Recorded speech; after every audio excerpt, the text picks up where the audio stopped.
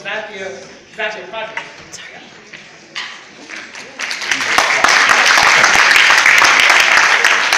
Hello, my name is Edmund Page. I'm the CEO and founder of Xavier Project. We work in East Africa with refugees in the area of education. I began working with refugees in 2008 as a volunteer in Kampala, where I found thousands of Congolese refugee children out of school. I began by going back to university, raising enough money to sponsor 16 children through school, and today we support 600 refugee children in Nairobi and Kampala through education and work with 50 government schools to improve the educational experience for refugees.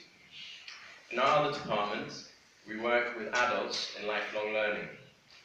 We provide safe spaces for learning for refugee adults to provide them with the skills they need to locally integrate into Ugandan and Kenyan societies. At Xavier Project, our innovation is in our approach.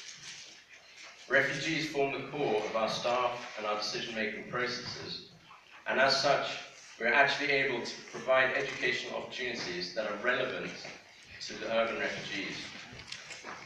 In the past, this has been overlooked with significant effects. For example, through various surveys that we've done in Nairobi and Kampala, we have found that 90% of urban refugees expect to be resettled. That is remarkable considering that last year, between Kenya and Uganda, they barely managed to resettle 1% of refugees. Local integration has for a while been recognized by agencies as the most likely durable solution for refugees, but this attitude seems to be lost on the refugees themselves. Refugees must be central to finding solutions, durable solutions to migration issues, but if they are left in the dark, they cannot contribute and if they don't understand the context.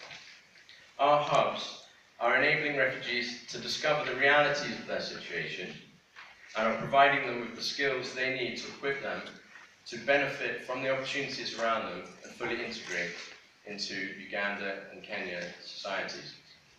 We, are looking, we have opened three hubs so far, and we plan to open five more around Kampala and Nairobi, and we are looking for strategic partners to help us to do that.